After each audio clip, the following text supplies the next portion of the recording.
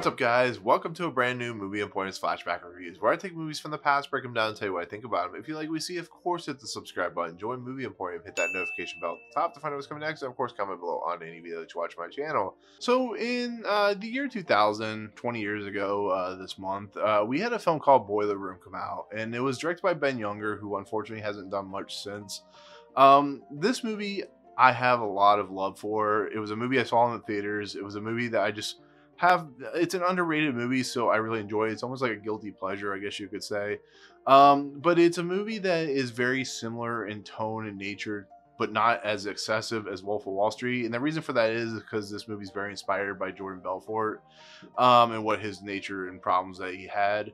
And it's about this character named Seth Davis, and Seth Davis is played by Giovanni Ribisi. And basically, what happens is uh, Seth Davis owns an illegal casino in his apartment. He's dropped out of high, college, and he's basically helping college kids, you know, find downtime and stuff like that while making lots of money. His dad, who's played by Ron Rifkin, is a judge, and it leads into problems. You're running a legal casino. You're going to affect my judgmentship, and it becomes a kind of black sheep scenario where Seth Davis is the black sheep. His father is very headstrong, very kind of authoritarian and he is very angry with his son. He's like, Why did you drop out of school? Why are you gambling? Why are you doing a legal casino? It becomes a problem. You kind of see his point, but because of the nature of who he is and how he acts towards Seth Davis, you kind of not root for him. You kind of like are angry at him. And it's the nature of the problem with his character is he's a little too excessive in his role, but you kind of see where he's coming from. So as that said, so as that storyline kind of plays out through the whole movie, we get a knock on the door, and the knock on the door is from two characters that become major. Well, at least one of them becomes a major character in the movie. Uh, Seth Davis, I don't know if it's his friend or somebody he knew through college. Uh, Jamie Kennedy's character basically brings a character played by Nicky Katt, who is Greg, and they basically play a hand of blackjack or whatever. And then they explain to uh, Seth Davis, they're like, "Look, what you're doing here is very illegal we have a way for you to make legit money, lots of money. And of course, as Seth Davis says in the beginning, you could either be slinging crack rock or you could be having a wicked jump shot. So basically saying you could be like the low, lower level person making no money, or you could be that rich person making a lot of money. So he takes the jump shot version. And he goes to this place by J- called JT Marlin. The problem with this uh, stock firm or whatever you want to call it is it's in the middle of nowhere. It's I think in New Jersey, is uh, I think Seth Davis says and it's filled with a bunch of really young people. You know, the stock market, stock market exchange is usually they're more of a they're more younger, older than 20s, early 20s, late 20s. So there's already warning signs that Seth Davis is not really noticing at first, but as his narration plays out, you kind of he kind of starts figuring things out. And he basically is put into this group of people that are just young people. They are always on drugs. They make a lot of money, but they don't know what to do with the money. And they are put into this room with uh, a person who is played by Ben Affleck, who plays Jim Young. And Jim Young's like the recruiter. He's like the very aggressive recruiter, kind of like Alec Baldwin and Glengarry Glen Ross. And he explains to him about what this is, what you need to do, very vulgarly and stuff like that. And this is where we meet Vin Diesel. This is where we meet, of course, Nicky Katt and Jamie Kennedy come back. This is where Scott Caan comes into the mix, and we start getting integrated into this world of basically con stock market job. And this is when the movie just kind of completely goes and just like completely goes 100 miles per hour. And we start learning about how greedy people can truly be. And JT Marlin is run by JT Marlin, who is played by Tom, Tom Everett Scott. And he's very influential and he's very he, can get you on his side because money talks and you know money walks. And so he basically this character of Seth Davis gets integrated. His family is excited for him but he becomes skeptical as he finds out that the stock they're pushing is not only not real, but it's being fronted by JT Marlin himself. So it's basically almost like a pyramid scheme, but in reverse.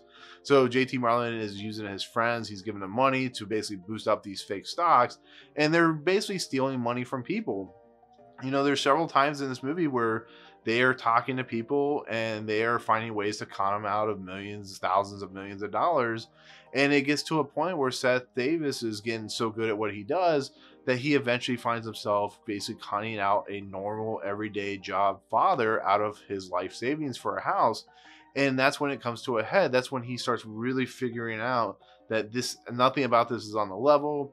You know, he he comes across this character who he had, who's his love interest, who's uh, Abby, who's played by Nia Long, and they kind of just start to. Do, he just starts kind of seeing everything. He sees the like the empty warehouse buildings that, he, that are claimed of the companies that they're showing stock for. They see the he starts seeing like what JT Marlin and his compliance compliance officer are doing. That if they get caught by the FBI, they are able to shift themselves out of the way so it kind of looks like a you know ghost vanish job and stuff like that. But that's what this movie is in essence doing is telling us about the cautionary tales of what greed can do to someone and what greed does to people. And when the fbi gets involved when they take down you know seth davis and abby and then eventually jt marlin it just becomes a whole complete mess and it's a very sad scenario because what seth davis thinks he's doing and what he wanted to do is do something right, do something good for himself, for his father, his family, to prove that he's not the black sheep of the family. But he, he continues to do the same problems over and over. He's doing illegal stuff and he's not thinking about what he's doing. And what's that's part of life and how we do things is we don't think about it sometimes what we're doing and how it affects the whole and how it affects the public. And when you start getting involved with the FBI, when you start getting involved with the legalities and legal nature of the whole stealing from people in the stock market, it becomes a whole mess. And I just I really like that for this type of movie. I mean, I like Wolf of Wall Street a lot. I think it's a great movie, but this movie boils down what in essence of what Wolf of Wall Street is doing, but it does it more simpler. You know, the characters are more toned down. They're simple. Yeah, they gamble in bars. They get in fights. They get on drugs. They drink. They have cars that are really expensive. Houses that are really expensive. But it's a, very very toned down version of that movie and it's really interesting to see what people will do for money and the characters in this movie are you know they're great you know this is early Vin Diesel before Fast and the Furious this is Giovanni Ribisi you know like I said after Saving Private Ryan uh, we have Tom Everett Scott who kind of fizzled out as here or there. And then we like I said we have Scott Caan and Jamie Kennedy who are who they are. And you know it's just I think it's a good movie. I think it's a fun movie. I don't think it's an easy movie to watch because of the stuff they're doing. I think the nature of the fact that this is movie from 2000 really shows you some of the the stereotypical natures of the 2000s, the 99 2000 era, with like the homophobic slurs and the homosexual uh, stereotypes and you know the racist stereotypes. You know the guys are like making fun of each other by calling them stereotypes and. I don't know if it's really how it is in the stock market world, but I've heard rumors and stuff like that that that's kind of how they are. Uh, but it's a movie that I really enjoy. I think Ben Younger had a he had a pretty good hit on his hand that was not as well received as it should have been, but kind of developed that call following later on. So yeah, this movie Boiler Room, it's a really interesting movie. It's a movie I kind of wish everybody would see, you know. But the problem is with Wolf of Wall Street, people are gonna look at it and be like, "This is kind of boring." So I get it.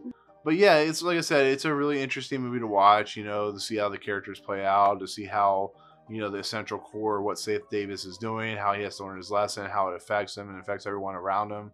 It just it's a really interesting cautionary tale about greed. So, but there you go. That's my take on Boiler Room. Uh, let me know in the comments below if you have seen Boiler Room. Let me know what you think of it. If you like it, if you don't like it, you know I'd be interested to know. Uh, but otherwise, that'll do it. If you like what you see, hit the subscribe button, join Movie Emporium, hit that notification bell top to find out what's coming next, and of course, comment below on any video that you watch my channel. Otherwise, I'll see you guys on the next video. Peace out. What's up, guys? Thank you so much for checking out Movie Emporium. I really appreciate it. If you want to, go ahead and hit the subscribe button, hit the notification button and the bell at the top. Find out what's coming next for Movie Emporium. Also, check out these two videos. They're amazing. I think they're awesome. I think you'll enjoy them too. But otherwise, thank you so much for watching, guys. We'll see you next time.